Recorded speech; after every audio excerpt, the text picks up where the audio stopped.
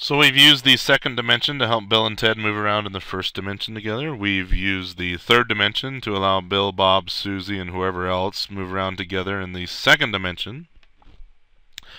And now we're going to use the fourth dimension to allow people in the third dimension to move around. Now here's the cool thing about the third dimension is it's the dimension that you and I live in and can conceptually understand.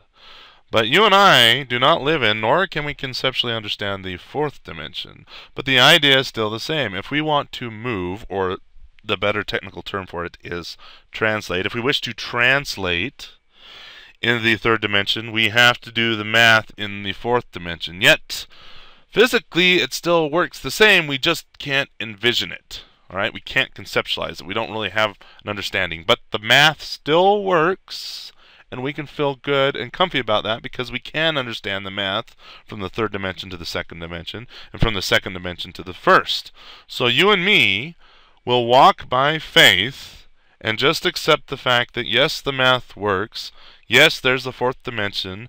No, we can't conceptualize nor understand what it physically means, but we'll be content to accept that it works, and then we can do a translate or a move in position in 3D. All right, that's why I was beating that concept in your head of that extra dimension and using it to move around. That's what we're going to do here. Uh, let me fly around this a little bit. You can see here we have a 3D world, and and these are vectors. They're all coming off this origin here. I didn't draw the crosshairs of the origin um, simply because it was more lines than I wanted to have on the screen. But there we go. There is our origin, and these are positions, and let's say, I don't know, this is me, this is you, this is somebody else, you know, Billy, Bobby, Susie, Ted. We all like to maintain this distance with each other. And we want to move in space together, but I don't want to have to think of a different transformation than you, and we don't want to have to calculate that in 3D.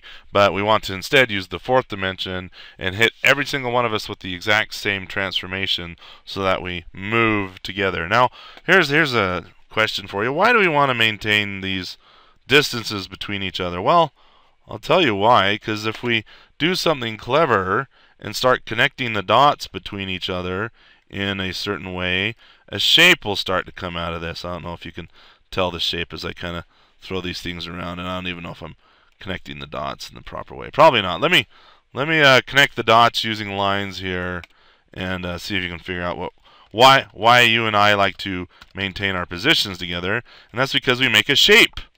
All right. Yes, we are truly vectors. Alright, coming off the origin here. But if you connect the ends of our vectors or our positions, like so, then you get this nice kind of cool shape comes out of it. Let me uh, put it, make it more solid. And there you go. There's an arrow. Alright, there's an arrow. And we want to do a translate together. Now you can see I have up here, this is the four-dimensional transformation we're going to apply to ourselves. We have our basis vectors Alright, here's one basis vector, another one. Notice it's an orthonormal basis, meaning uh, each of the basis vectors, their lengths are 1. Alright, and they're perpendicular to each other, even though there's four dimensions here. And what does it mean geometrically or physically to be perpendicular in the fourth dimension? We can't understand that nor conceptualize it, but we'll accept it because it's true. We've seen that from 1 to 2D and 2 to 3D and now 3D to 4D. Alright, anyway, we want to translate together. Well, which basis vector are we going to use to do that? Which one do we need to change? Well, we've seen that we have to use the extra dimension to do the translation. If I grab, I don't know, let me clear this off here. Basis vectors, remember which one's the, the vertical basis vectors. If I grab this one, alright, how's that going to change our vectors here? Alright, let me go like that.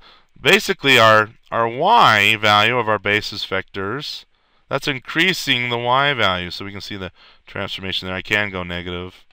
All right, that increases our y. And, you know, same thing, I can do the same thing with the x. All right, and same thing even with the z. Now we have this z dimension.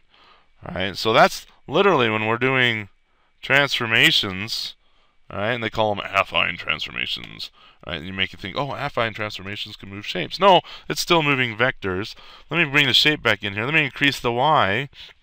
You see how we scale? We're scaling, if I can fly around here a little bit, we're scaling up in the Y, or we can scale in the X, scale in the Z. Whoop! Look, it just turned in inside out, so to say. And you can kind of see these vectors still coming out to these vertices out here, or just locations, right? The endpoints of those vectors. But hopefully you get the idea. But now I want to do a translate, and we got the same problem. If we want to translate, well, now you have to have a different different translation than me, and so on and so forth, unless we add this fourth dimension. Ah, All right, let me get the arrow back to its original shape. So here we go. Okay, we can't conceptualize nor understand the fourth dimension, but here we go. We're translating, right? Notice the vectors, right? They're staying at the origin there. The the tail, all every transformation we do on a vector is with respect to the origin. So that's why it's critical, critical that the vectors we maintain their position with respect to the origin. And that's literally what we're doing here is just like we saw with the two dimensions and one dimensions, same thing we're, we're, our vectors have to stay at the origin, and same thing here with 3D. We're just using this fourth dimension. Now, if you talk to the linear algebra math people, and they're right, but this is how they'll explain it. We're using this. Well, I showed you in that w equals 1 with the 2D pl plane, that 2D plane that existed in the three-dimensional space, and so we were moving around in the w equals 1 plane. But in one dimension, we were using moving in the w equals 1 line.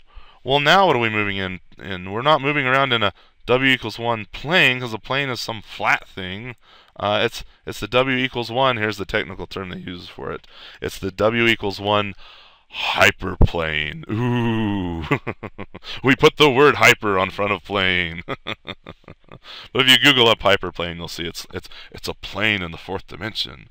Well, I really, really wish they wouldn't have used plane. I think they were just trying to grasp for strings. You know, it's you know when I think plane, I think of a flat, a flat two-dimensional plane. But but they said hyperplane, which is it's kind of like a 3D thing in a four-dimensional, uh, whatever. Right? They use the word hyperplane. But there you go. Let me um, let me you know it's kind of it kind of helps to see this. It's still the vectors. Look at those vectors right? The endpoints. In fact, let's just get rid of our shape altogether. We're translating our vectors. You see we're maintaining that you, me, Billy, Bobby, and Sue are all maintaining that that distance or the distances in three dimensions that we like to maintain, yet we're moving around like so. And I don't know, it's kind of hard to fly around this and help you see it, but but that's what all we're doing is we're just maintaining our distance. And again, my program in the background, it's just hitting every single one of these vectors with this four-dimensional transformation. So you can see we're moving like so, or it can go up and down, so to say. Let me bring the shape back in. We're moving up and down. Doing the translate, doing the translate. There you go. Homogeneous coordinates, affine transformations. I hope that makes sense. Now there's one little thing with homogeneous coordinates that is more a linear algebra thing than a game thing, but I'm going to talk about that in the next video. It's kind of important, but not really. Uh, I don't know. When we get to computer graphics, maybe it's important, but just an interesting thought, if you would, with homogeneous coordinates.